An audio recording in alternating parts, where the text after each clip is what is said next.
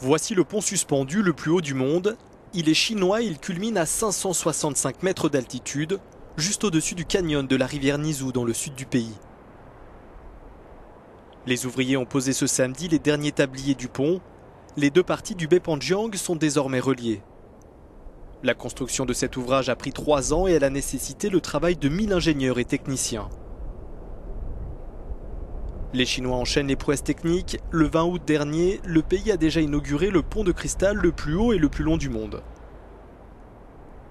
Pour les automobilistes qui n'ont pas le vertige, le Beipanjiang sera ouvert et accessible d'ici la fin de l'année.